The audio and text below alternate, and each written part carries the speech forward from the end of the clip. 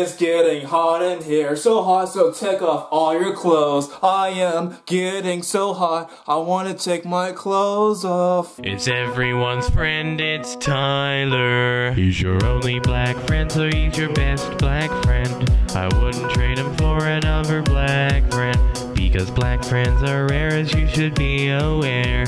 He smiles like Richard Pryor, so just sit and stare.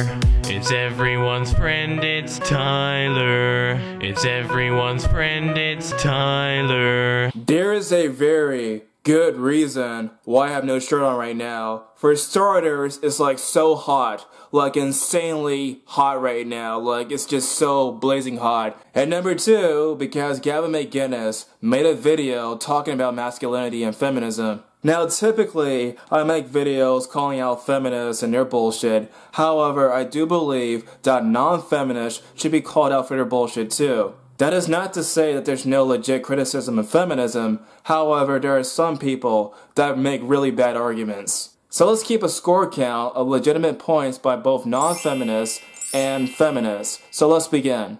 I've noticed that women in matriarchies are particularly cruel. Like this little 16 year old girl who said, I don't know if I believe in feminism, is getting nothing but vitriol. And it's not like they want to convert her to their side, they want to kill her, they want to rape her.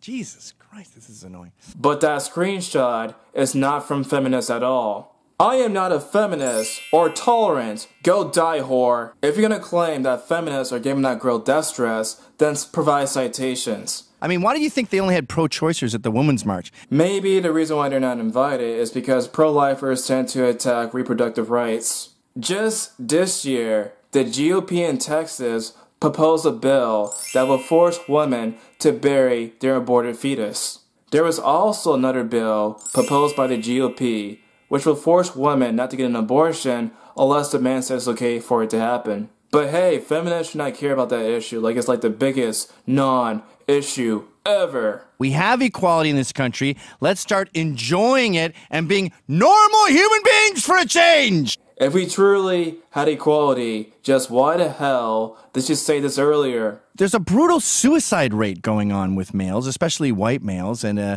it's linked to opioids and cirrhosis of the liver. But I think it all comes from depression. I think it all comes from a lifetime of being told you suck. You said it yourself. Guys are not equal to women in regards to the law. This right here is classic double doublethink. We have equality for men and women even though we don't have equality for men and women. But hey, both feminists and non-feminists get points for this. Both feminists and non-feminists make some really good points. However, we need to call out the bullshit from both sides. It's everyone's friend, it's Tyler. He's your only black friend, so he's your best black friend. I wouldn't trade him for another black. Because black friends are rare as you should be aware. He smiles like Richard Pryor, so just sit and stare. It's everyone's friend, it's Tyler. It's everyone's friend, it's Tyler. It's everyone's friend, it's Tyler.